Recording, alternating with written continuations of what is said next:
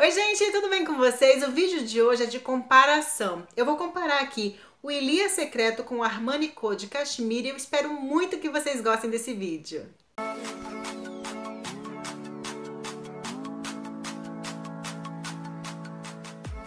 falei pra vocês em alguns vídeos, gente, da minha paixão pelo Ilia Secreto. Ele foi o perfume que me fez voltar a usar a Natura. De novo, eu tinha ficado um bom tempo sem comprar Natura. E aí, quando eu experimentei ele, foi amor à primeira borrifada. Eu vou falar um pouquinho da classificação do Ilia, depois eu vou falar do Armani e vou falar pra vocês se parecem. Por quê?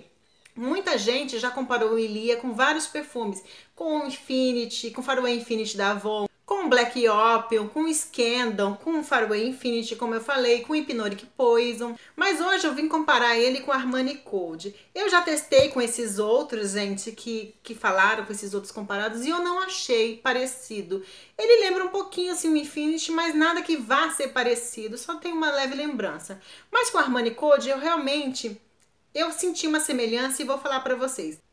Então vamos lá, eu vou começar falando as notas e a classificação de cada um e vou falar para vocês é, o que que parece, se parece ou não. Então eu vou começar com o Ilia. O Ilia ele é um floral frutado, foi lançado em 2018. Eu tô lendo, gente, que eu não consegui decorar as notas porque são muitas notas. Ai, que burra, dá zero pra ela. Ele tem pera, tangerina, ameixa e uvas de saída. De coração ele tem frésia, orquídea, jasmim e lírio do vale. E de fundo ele tem fava tonka, cedro, sândalo e café. Já o Armani Code, ele é um oriental floral e ele tem de saída flor de laranjeira e jasmim. De coração ele tem heliotrópio, leite de amêndoas e íris. E de fundo ele tem camorça, incenso, couro e patchouli. Então, eles não têm nenhuma nota em comum, mas eu acho, gente, que sim. A gente lembra, mas não são idênticos. Um não substitui o outro. Eu vou falar para vocês o que lembra e o que não tem nada a ver. A saída deles, gente, na saída, os primeiros segundos, eles lembram um pouquinho.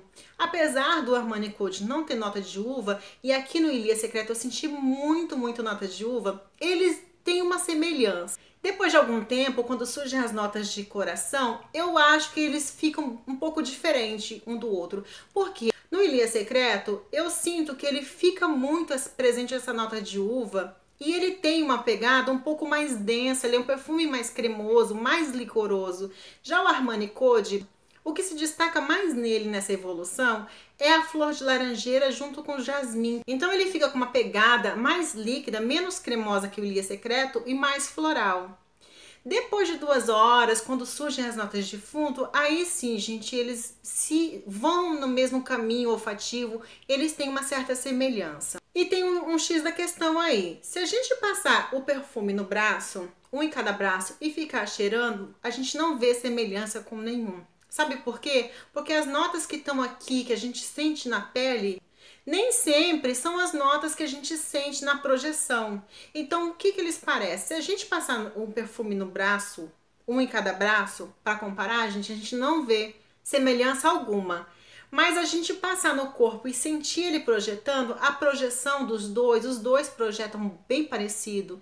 E é nisso que muita gente pode achar que não parece e outros podem achar que parece. Eu já usei esse perfume um em cada dia, né? Em dias diferentes, eu usei primeiro o Elia, num dia, no outro eu usei o Armani Code. E sim, conforme eu sentia o cheiro projetando na minha pele, eles se igualavam, parecia que eu estava realmente com o mesmo perfume.